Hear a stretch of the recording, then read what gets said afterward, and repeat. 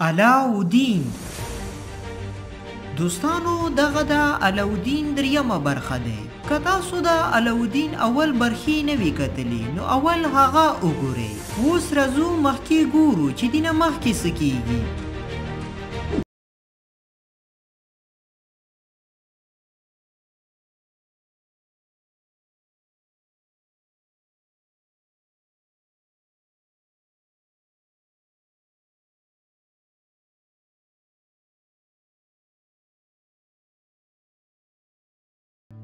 علاوالدین بچې ته لاړ شه بازار نه لږ څه راوړه سلطان به هم وخوري او زه به هم وخورو نن مسخوتان دپاره دي خبري اوریدو سره خان سوچ کوي.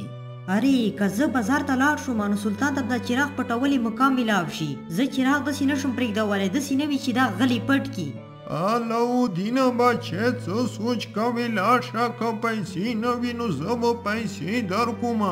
پيسې راسره شته دي زه ځم غوښه راوړوم ته فکر مه کوه دادا جان. علاؤالدين اغنا روان شي خو ذهن کي ورسره چراغ وي.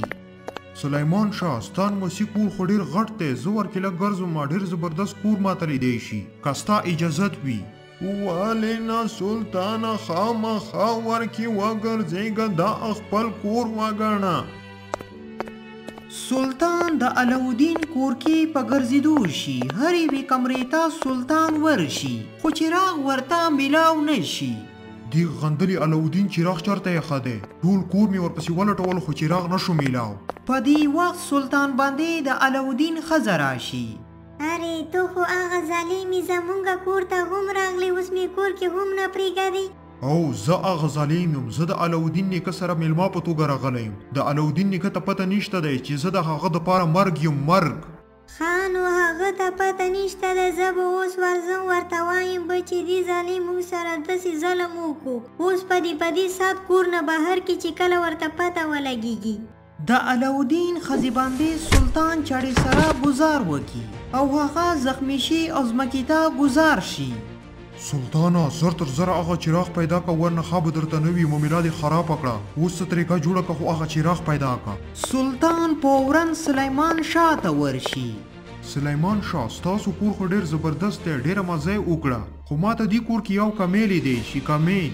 سلطانه دا راته ووایه دا کمی څه کې دی چې دا هم ورنه وباسو. سلیمان شاه کمی ډیر غټ نه دی وړوکه دی زما ټولی خبری مطلب دا دی چی دی کور کی چراغ نشته دی چی شپی ته بل شی. ها سلطانه نو دا کمی دی چراغ خو شته دی خو هغه پاسه اول کمری کی میز باندی موجود دی تا وشه نه ده لیدله. ها پاسه ولې بله کمره هم شته دی زه ورځم هغه کمره هم ګورم چې بیا مې زړه کې ارمان پاتې نه شي. سلطان اغنا پورا پاسه کمرې ته وخېژي، ټېبل باندې هغه چراغ موجود وي، سلطان چراغ راواخلي. چراغه! اخر هم زما لاس ته راغللې، اوس مې پیدا کړلې، تا خو ما کې عمر کم کړلو خو دې ځل دې لاس نه نه وریا کوم، اوس چې دلته کې یوه پړه وګورم داسې لنډ کوزېږم په کړکي باندې. سلطان د کمرې اول چتنا پړي باندې لاندې رکوز شي بيا اهنه لاړ شي لږ سدباد خان کورته راشي د دجان سلطان څه شولو هغه خو نشي لیدی بچه هغه پاس کمرې ته وختلو د کور لیدلې د پاره هیڅ دا کور ډیره مزه کوي ډیر مزیدار کور دی څه کورې ليدلو اوس يې خوند وکړلو زه چې پاسه کمرې ته وروخيجيږم. علاؤالدين فوراً پاسه خپلې کمرې ته وخيجي نو هغه التکې خپله ښځه زخمي وګوري نو ډېر پريشانه شي. بيګم د تا بنې څه وشولو دا چا وکړلو ماته ووايه. علاؤالدين ته ښځه هر څه ووايي چې دا سلطان وکړلو صرف د چراغ د پاره. بيا ټول يوې کمرې ته راجمع شي د علاؤالدين ښځې علاج هم وشي. سلطان رزیل زما وله چیرا هم یوړلو او زما ښځه یې هم زخمي کړله. دا دریم ځل شو چي دا ما سره دسي کوي. علاؤالدینه بچه د چراغ فکر مه کوه هغه چراغ ما ورته نقلی اخه اوستا وله اصلی چراغ ما سره دی ماته دا هر څه پته وه چی سلطان تا سره څه څه کړی دی ماته دی مور مخکی نه ویلی وو. څه تاته هر څه پته ده خو دی تاته کوم ټایم کی ویلی وو.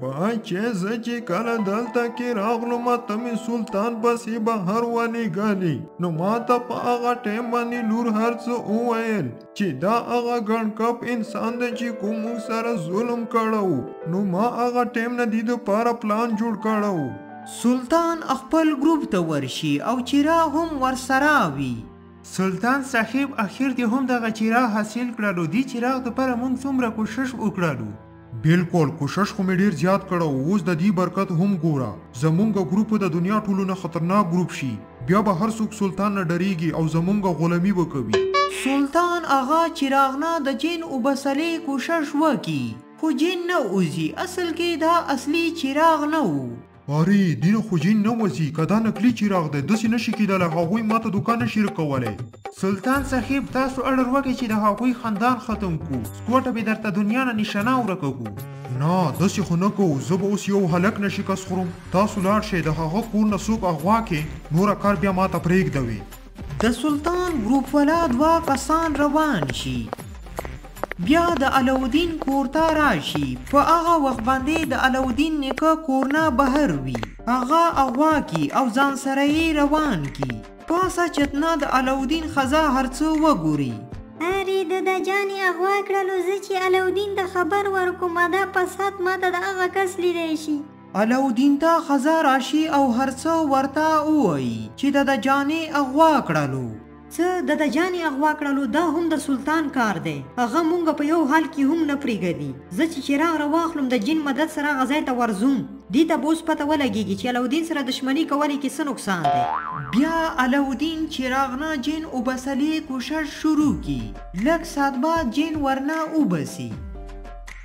ارې زما اکا حکم کوه زه ستا څه مرسته کولی شم اړه اړه. جینو صخیب سلطان زما والا نیکه اغوا کړه دی ما هغه ځای ته ورسوه چرته چی زما نیکه دی.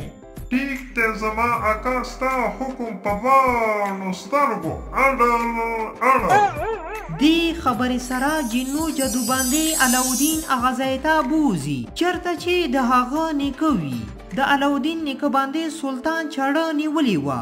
ای علاؤالدينه! ما ستا انتظار کولو، تا سره پنځلس سيکنډه دي، هغه چراغ زما په حواله که، کني نيکه نه دې سر کټاوومه. سلطانه! ته څنګه زما نيکه نه سر کټاوې، زه تا ګورومه، جين نو دسي وکه. علاؤالدينه! غله شه، نيکه نه دې سر لاړو جادو ونه کي، يو، دوه، در. ودرېږه سلطانه! زما نيکه ته څه وانه يې، زه چراغ درکوومه، چراغ ستا وي، خو زما نيکه پرېږدوه. علاؤالدين چراغ د سلطان ګروفلا حيران په حوالا کي. علاؤالدينه زه دي ډير ستړ کړوم خو اخير هم جيت زما شولو ههههه. سلطانه زما نيکه پريږده وا چراغ مي ستاسو په حوالا کو نن نه علي ماته مخي تارا نه شي بيا. ولی نه علاؤدینه نیکه دی پریږدوم خو لږ صبر خو اوکه د چاړه به په چاره تیراومه. ای ظالمه زما نیکه ته څه ونه یې پرېږدوه ظالمه سلطان د علاؤدین نکاح حلال کی او سر تنه ورته جدا کی علاؤدین ډېر پرېشانېنه ځمکې ته خطا شي سلطانه ددی حساب بدل نه دسی قلم چی تا ته ټول عمر یاد وی. اوس هم د حساب خبرې کوې اوس ستا نمبر دی تا هم ختموم خو د نیکه په شان دې نه تا ته سم در دیدله مرګ درکوم. سلطان صاحب علاؤالدین ته څنګه مرګ ورکوی دا بیچاره خو ډیر پریشانه دی ځکه چه خندان ورنه پتی کیږی. علاؤالدين ته داسې مرګ ورکووم چې بيا د خلکو دپاره عبرت شي او سلطان سره بيا څوک تېزې خبرې اونه کړي. دا اهې ونې پسې کېډۍ کې دې ته پڼسي ورکوم، پڼسي.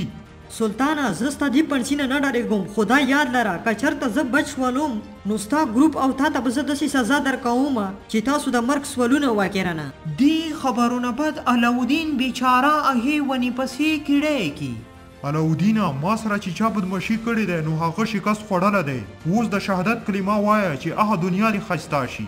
دی خبری سره سلطان میزته لګته ورکی او میز ورنه لری کی او علاؤالدین کیړی شی دوستانو علاؤالدین به بچی یا هغه به مړ شی څلورمی برخی کی به تاسوته پته اولګیږی او که تاسو دغه برخه خوښه شوی وی نو دا درسره لایک. او چینل درسره سبسکرایب کې بلې ویډیو راتلو پرې د لوی الله په امان.